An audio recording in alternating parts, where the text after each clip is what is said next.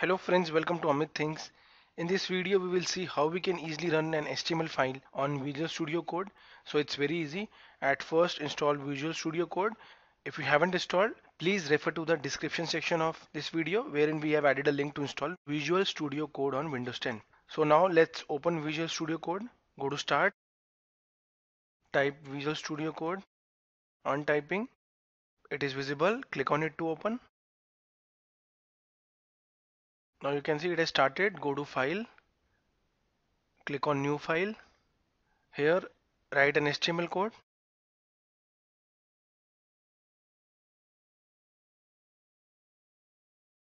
Here you can see we have added HTML code.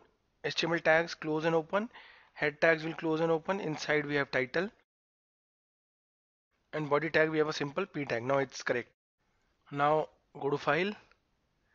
Click on save as let's save on desktop. Here I'll give the name. Example. I'll select the extension HTML and save it. Now we have created an HTML file. Now how we can run it on browser? For that go to this option extensions visible or you can type control shift plus X. Here all the extensions are visible. Here search open in browser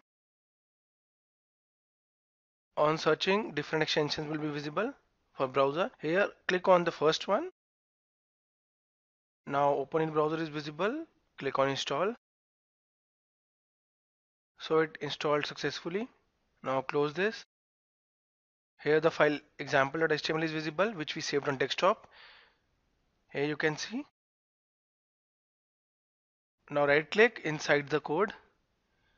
Here open in default browser open in other browsers. Let's click on other browsers.